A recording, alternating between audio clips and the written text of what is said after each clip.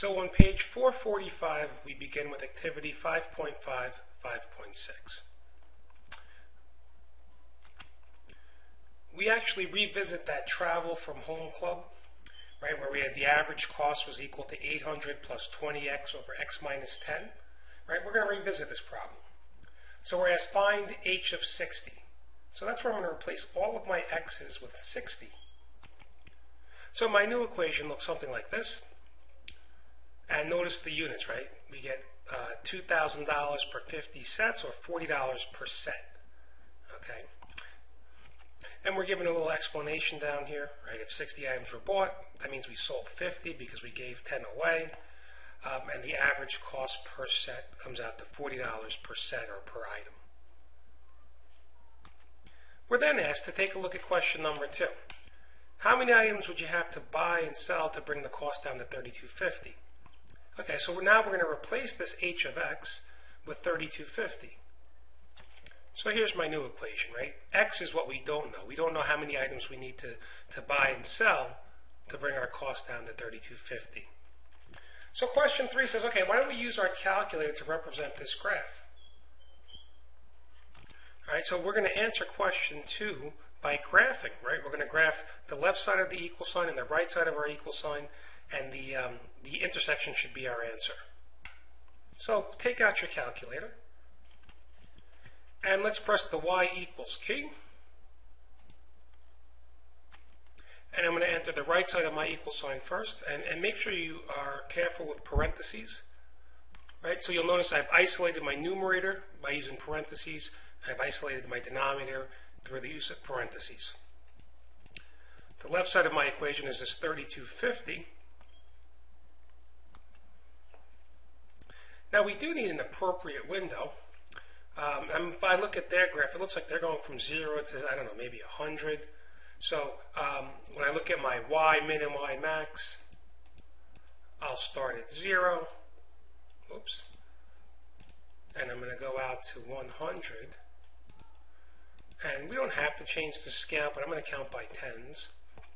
And for the x min and x max, I'll start at 0. And if you look at their table here, it looks, it looks like they're going from 0 to, say, 140, 150. Um, so I'll go from 0 to, say, 150. Now I press graph. And it looks like I'm reproducing their graph. Okay, and now the intersection, if I press second and above trace says calc, so I'll press the trace key. Number five for intersection. And then uh, my first curve, that's fine. My second curve, that looks good. And then my guess, yeah, it's somewhere around here. So I'll press enter. So it looks like we have to basically buy and sell um, 90 of these items, right? We're going to buy 90, give away 10, so we actually sell 80 of them to bring our average cost down to 3250.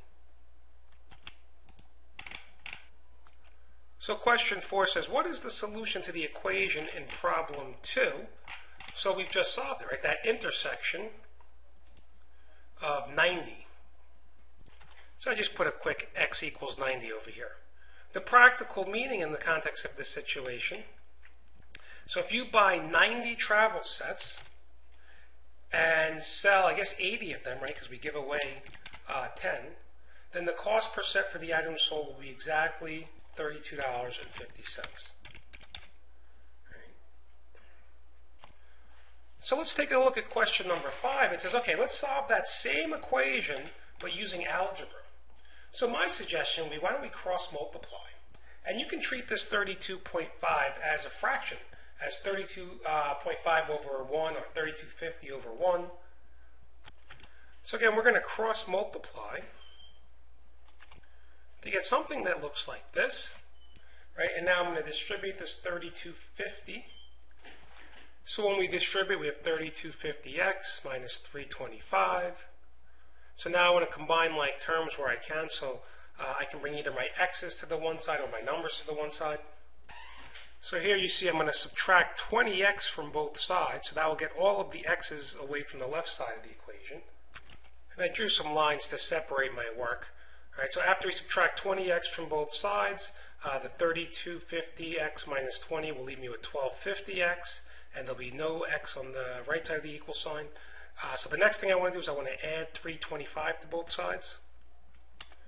So now I'm left with 1250x equals 1125, and the last thing for me to do will be to divide both sides by 1250. So here's me dividing both sides by 1250. So I'm left with x equals 90 as my final answer.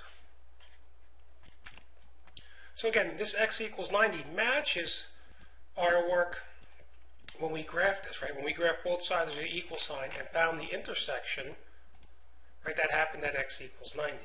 So we solved it graphically, and then we used algebra to solve the same problem, and, and we got the same answer, or we arrived at the same answer. All right, so in the next video, we'll solve a few more problems, or a few more equations algebraically.